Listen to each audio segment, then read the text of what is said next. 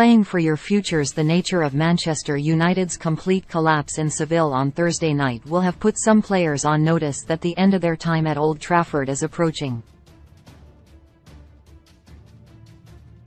Erik Ten Hag was furious with his team's display in the Europa League quarter-final second leg and the way they were outthought and outfought was particularly damning. As injuries began to bite, United's B-listers showed they don't have long left at the party. The United manager would like to go on another recruitment spree this summer, but funds are limited as the club continue to walk a tightrope when it comes to financial fair play rules. How much Ten Hag can spend will partly depend on how much can be raised in sales. There is now a maximum of 10 games left for United this season and for some of this squad, they need to make them count to avoid being placed on the transfer list. David De Gea could leave on a free, but he must be under pressure now. Harry Maguire is suspended for this game, but could also leave. Aaron Wan-Bissaka, Victor Lindelof, Fred and Anthony Martial could all be sold. Three of that quartet started in Seville and Fred rarely gets a look in these days. Jadon Sancho also needs to up his game. There is an FA Cup final to look forward to for the victor at Wembley today, but for some United players, the prize is even greater than that. Defensive reshuffle with Maguire suspended and Rafael Varane and Lisandro Martinez still injured. United are down to the bare bones in central defence. That will probably mean Luke Shaw coming in at centre-back to replace the club captain, which after Thursday night might not be such a bad move. But Shaw will operate on the left, with Lindelof bumped across to the right, so it will involve two positional changes. There might also have to be alterations at fullback, given Aaron Wan-Bissaka's poor 45 minutes in Seville and Diogo Dalot's form at the moment. Starting both would appear a risk, so Tyrell Malacia might well be back. It's not inconceivable that Ten Hag picks a back four that involves all four players either coming into the team or changing position from the Sevilla game, which is far from ideal preparation. Midfield scouting mission of all the areas Ten Hag needs to strengthen this summer. Midfield isn't near the top of the list, but a younger, more dynamic option would certainly be attractive to the Dutchman. Fitting that bill are two Brighton players who will attract interest from plenty of the Premier League's biggest clubs this summer. United nearly signed Moises Caicedo before the Ecuadorian moved to the Seagulls in 2021. At the Amex he has emerged as one of the hottest prospects in the league and was close to a January move to Arsenal.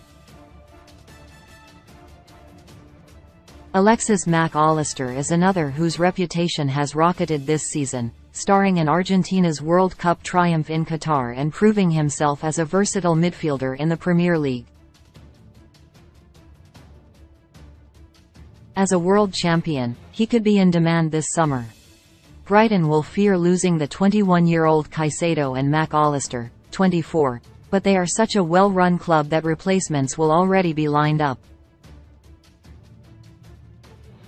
United would take either of Brighton's current midfield stars, but maybe their eyes should be on who comes next as well.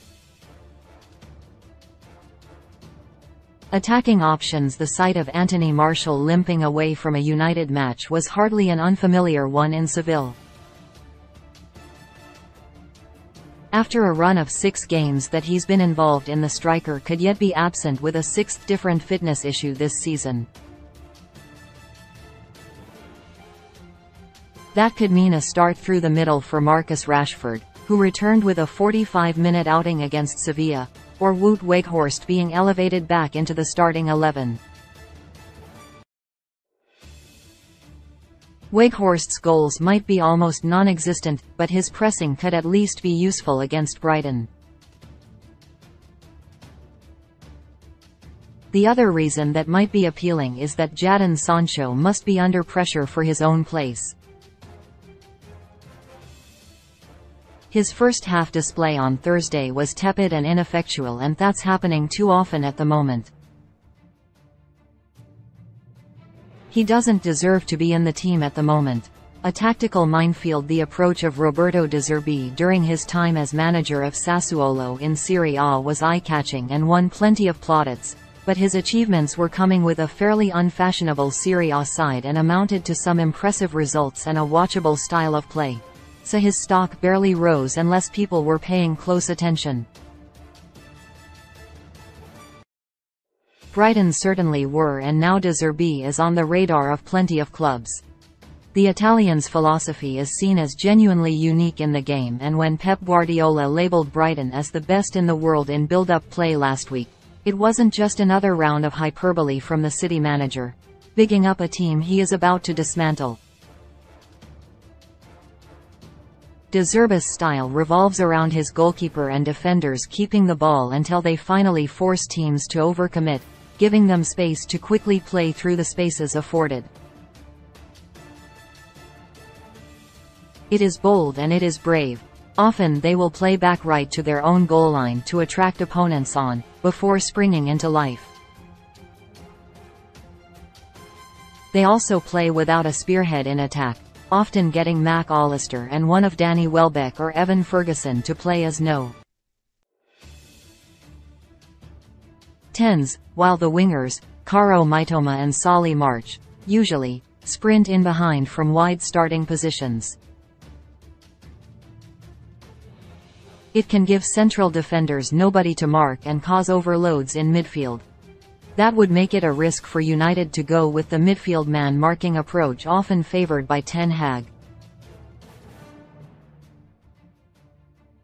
It's a conundrum he must solve on the back of just a couple of training sessions, while Brighton have had the whole week to prepare.